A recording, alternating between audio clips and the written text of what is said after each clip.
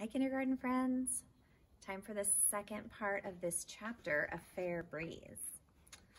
When we last stopped off, um, Stuart had just gotten off the bus at the park, okay? When the bus stopped at 72nd Street, Stuart jumped out and hurried across to the sailboat pond in Central Park. Over the pond, the west wind blew, and into the teeth of the west wind sailed the sloops and the schooners their rails well down, their wet decks gleaming. The owners, boys and grown men, raced around the cement shores hoping to arrive at the other side in time to keep the boats from bumping. Some of the toy boats were not as small as you might think, for when you got close to them, you found that their main staff was taller than a man's head, and they were beautifully made, with everything ship-shape and ready for sea. To Stuart, they seemed enormous, and he hoped he would be able to get aboard one of them and sail away to the far corners of the pond. He was an adventurous little fellow and loved the feel of the breeze in his face, and the cry of the gulls overhead, and the heave of the great swell under him. As he sat cross-legged on the walls that surround the pond, gazing out at the ships through his spyglass, Stuart noticed one boat that seemed to him finer and prouder than any other. Her name was Wasp. She was a big black schooner flying the American flag. She had a clipper bow and on her foredeck was mounted a three-inch cannon. She's the ship for me, thought Stuart. And the next time she sailed in, he ran over to where she was being turned around. Excuse me, sir, said Stuart to the man who was turning her, but are you the owner of the schooner Wasp? I am, replied the man, surprised to be addressed by a mouse in a sailor suit. I'm looking for a berth in a good ship, continued Stuart, and I thought perhaps you might sign me on. I'm strong and I'm quick. Are you sober? asked the owner of the Wasp. I do my work, said Stuart crisply.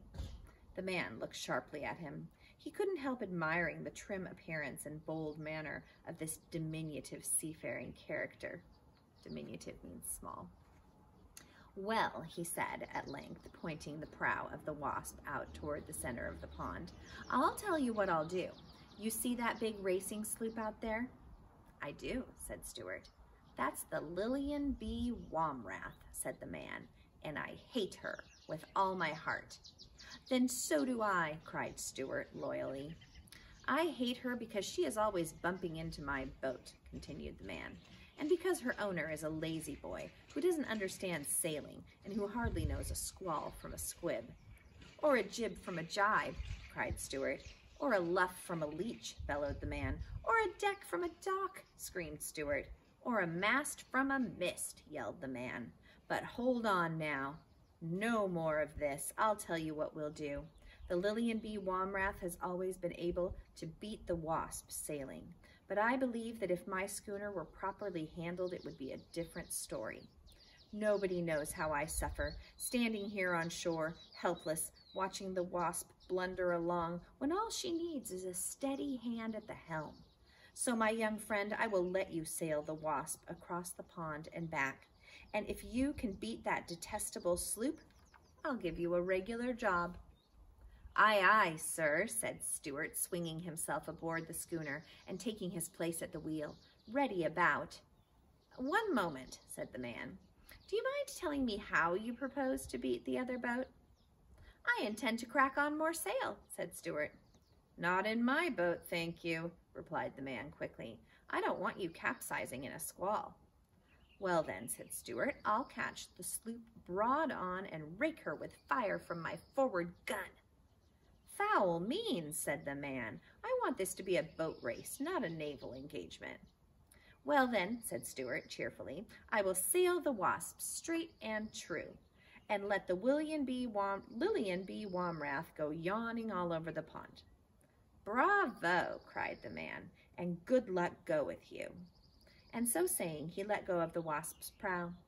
A, a puff of air bellied out the schooner's head sails, and she paid off and fell, filled away on the port tack, heeling gracefully over to the breeze, while Stuart twirled her wheel and braced himself against a deck cleat. By the by, yelled the man, you haven't told me your name. Name is Stuart Little, called Stuart at the top of his lungs. I'm the second son of Frederick C. Little of this city. Bon voyage, Stuart, hollered his friend. Take care of yourself and bring the wasp home safe. That I will, shouted Stuart. And he was so proud and happy he let go of the wheel for a second and did a little dance on the sloping deck, never noticing how narrowly he escaped hitting a tramp steamer that was drifting in his path, with her engines disabled and her deck awash. Now that was the end of chapter six. When we read chapter seven, it's called the sailboat race. And we can see if Stuart is really able to get that sailboat, the Wasp, to beat the Lillian B. Womrath in a race. Bye.